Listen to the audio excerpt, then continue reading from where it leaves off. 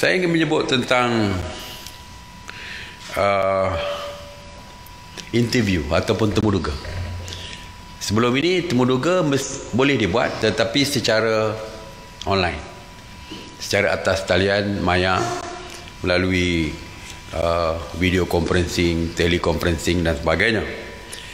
Mesyuarat khas yang bermesyuarat pada hari sebelumnya iaitu hari is, hari Selasa.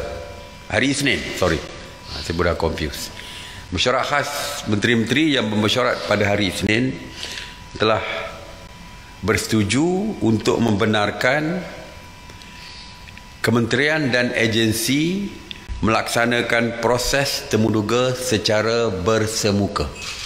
Jadi tidak perlu lagi di atas talian dan sebagainya. Ini juga termasuk juga kepada pihak swasta dan sebagainya.